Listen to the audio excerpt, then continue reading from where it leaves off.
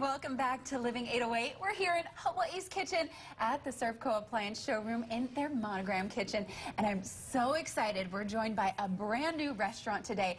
And joining me from Mauka Makai, they're opening at the Westin over in Maui. I'm joined by Assistant Director of Food and Beverage, Ricky Hamasaki. Aloha. Good morning. Welcome.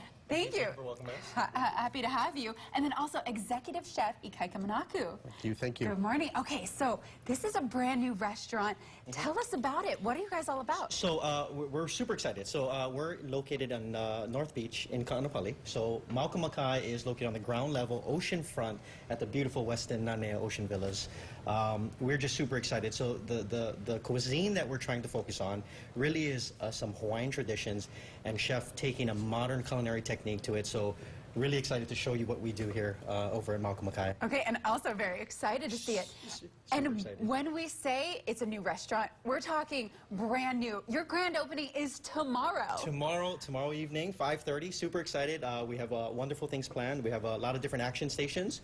We have different uh, beer vendors that are going to be joining us uh, from the island of Maui, uh, and we also have live entertainment. Uh, and we're just Wow. really excited. 5:30 tomorrow evening. Can't be more excited than that. And it's open to the public? Uh, open to the public, um, and uh, again, uh, you can call for reservations for that, and uh, and Okay. we're happy to have everyone. yeah. Wonderful. Well, congratulations on the brand new restaurant. That is so incredible. So, Chef, what do you think Mauka Makai is bringing to Maui? Wha- How are you guys different than any other Well, you- restaurant?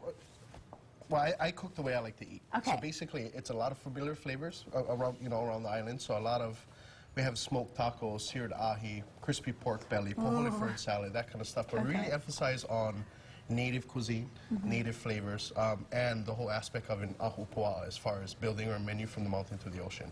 So it's a lot of fun stuff, but yet familiar. Okay, I really like that. And, and what about local ingredients? Do you incorporate that? Absolutely, absolutely. We, we're rolling out what we call a 20-mile menu.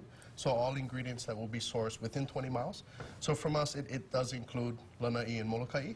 So yeah, things like that, local ingredient, working with farmers. I mean, starting with them now to harvest something in the winter.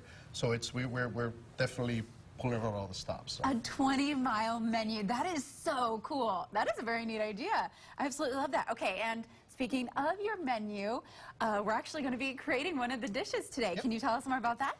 So th- we're going to do my pork and ahi dish, and the whole thing behind this dish is that how we grade pieces of meat or protein is the amount of fat or, or the marbling. So ahi tuna, unless it's toro or chutoro, something like that, is a very lean piece of protein. So what I'm hmm. going to do is just in- introduce some fat or some marbling with a piece of pork belly. Oh, okay. Very interesting. Well, I can't wait to see that. We're going to be doing that coming up next. Chef is going to be taking over and showing us exactly how they make it. Wonderful. Thank you so much for joining us.